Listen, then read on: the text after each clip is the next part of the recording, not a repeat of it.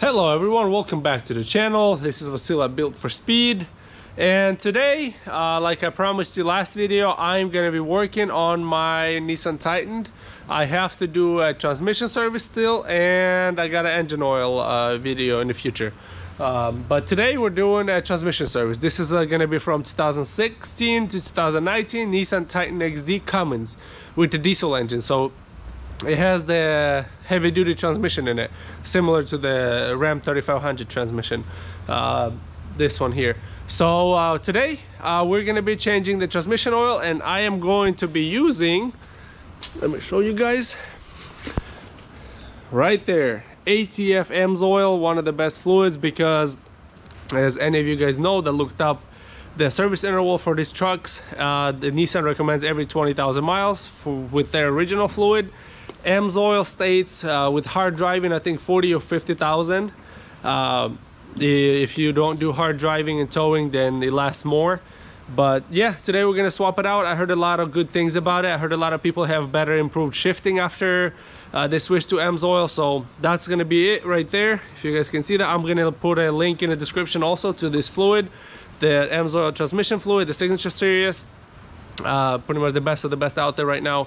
Uh, so yeah, uh, today I'm going to show you guys how to change the transmission fluid, filter, um, and the gasket obviously because I got to pull the pan to change the filter. So uh, from what I saw uh, from people that people pulled the filter, they drained about nine and a half uh, quarts uh, of fluid. So today I'm going to drain it. I'm going to kind of try to measure how much fluid I drain and then try to put in as, how much I drained out in there and then start the truck up it's up until uh, anywhere from I think 95 to 110 but I'll double check on that also uh, with the truck running to check the fluid level. So yeah I'll put in as much as I drain out and then add more if I need to uh, after we do the fluid check later. Okay so first things first we got to pull the transmission uh, dipstick out which was right there. Right there as you can see right by the uh, brake fluid reservoir there's a little notch right there that you gotta press right there. Use either screwdriver or uh, angle pick. They right there if you guys can see let me see maybe at this angle right there. You just push it in and pull it out so you guys don't break it. Pull this out so it lets the fluid drain freely so it doesn't create vacuum so it drains faster. So once we did this now we're to go underneath and uh, pull the drain plug out. Okay so we're underneath. This is the oil pan uh, you guys gotta make sure you guys don't confuse these with the regular uh, Titan XD with the gas models because the transmission is different the oil pan is different. This is gonna be only for the diesel ones that's it. So because uh, I've seen some people uh, do the Titan XD video it's completely different uh, transmission pan because it's a different transmission. This is pretty much the same transmission that they use in the Ram 3500 uh, earlier one the TS 69 I think models uh, pretty much almost identical transmission to this. I don't know why they fully renamed it for what reason but yeah. Anyways this is the drain plug right there. Once we pull the drain plug let as much drain out as possible. And then we're gonna put all those pull all those bolts around the pan and pull the pan off and change the filter also. After we pull the filter there's gonna be some more that drains out also. Okay so I'm actually surprised how how loose um, my drain plug was. Uh, pretty much I broke it loose with two fingers. Uh, I don't know if that's any good but well that's kind of a good sign because that probably most likely means that somebody already changed the fluid. Uh, let's find out how dark it is. Uh, to be honest I was expecting it to be a little bit on the lighter side. Well maybe not because I have 80,000 miles and if nobody changed it but this is not black. I mean I've seen a whole lot worse but this fluid I mean there is a possibility that somebody changed it. It's pretty it's pretty thick. I mean pretty nice fluid seems like. But yeah as you guys can see right there it's not see-through. It's red. It's like dark red but so it's definitely not great. So possibly maybe somebody changed that. I'm like a little over 80,000 now and it's not black so I mean that's a good sign. So somebody might have changed it once at least so we'll see. I guess once we pull the pan we'll see how those bolts come loose but this one came really really easily loose. Like it wasn't that tight. So that tells me somebody probably changed at some point. All right so you guys can see i got the pan off. You just get all the bolts off. And then on the filter right there there's one two and three 10 millimeter bolts. So i'm going to take those three off and pull the filter out and then it should drain some more from the valve body. Uh, maybe another plus or minus two quarts I was told so we'll see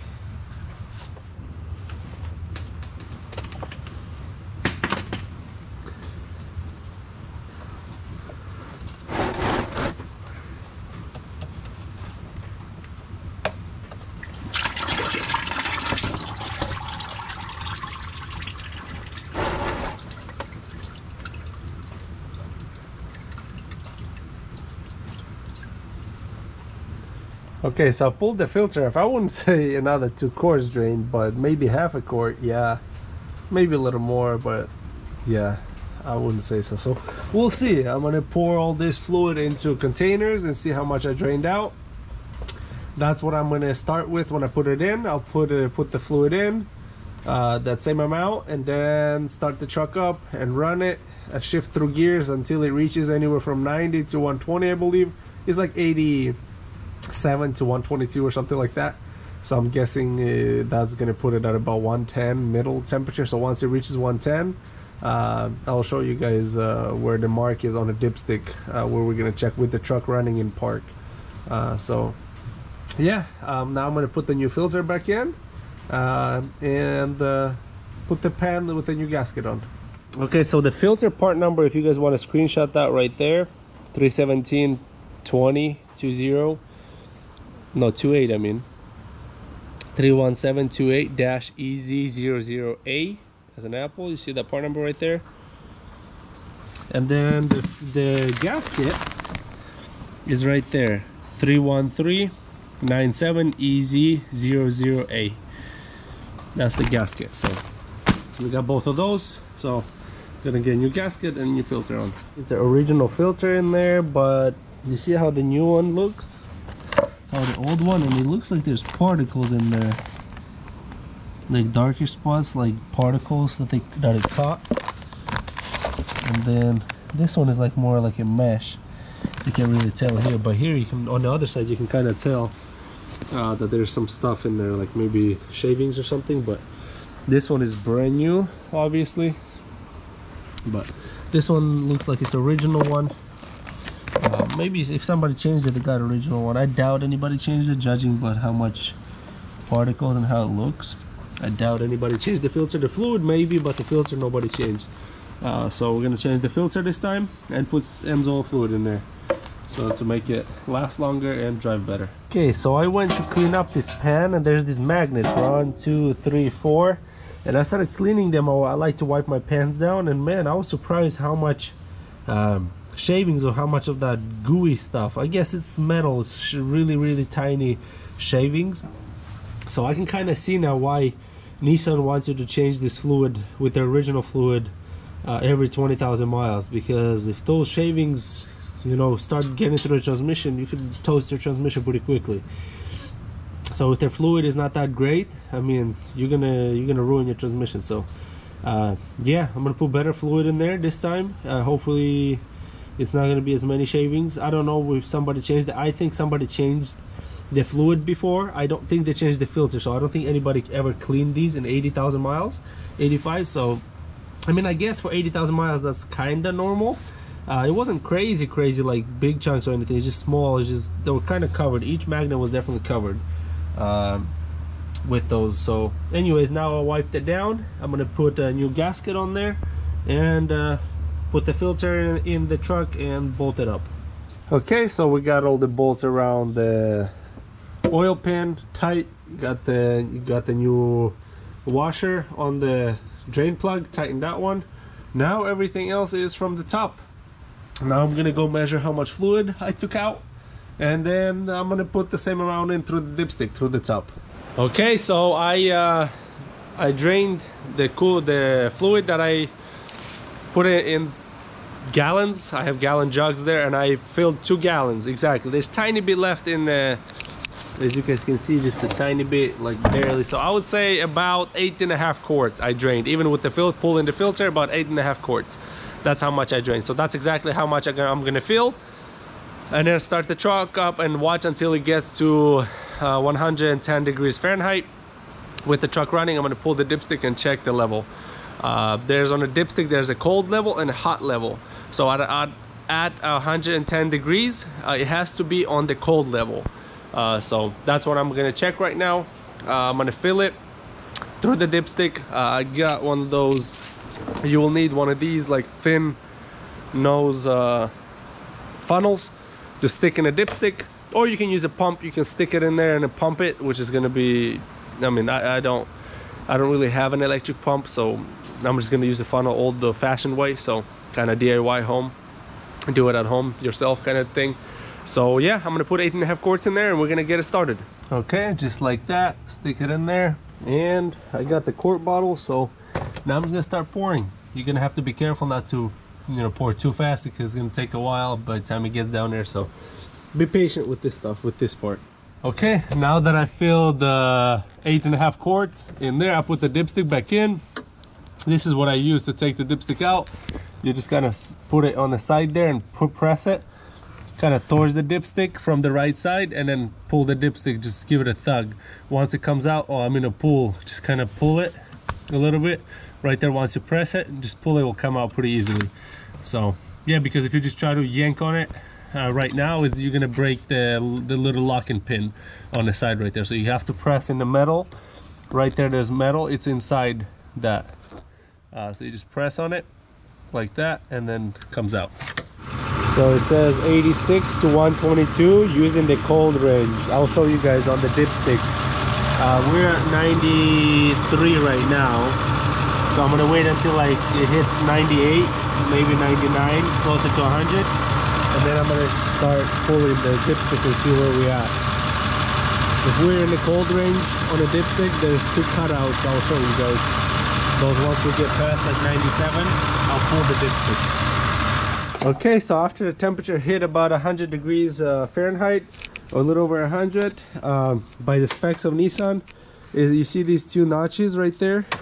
down there on the dipstick right there so it should be above the bottom um, notch so it should be pretty much at the top one this one right here this closer one so I just made sure it was a little bit above that top one at about 100 degrees Fahrenheit. That's a cold.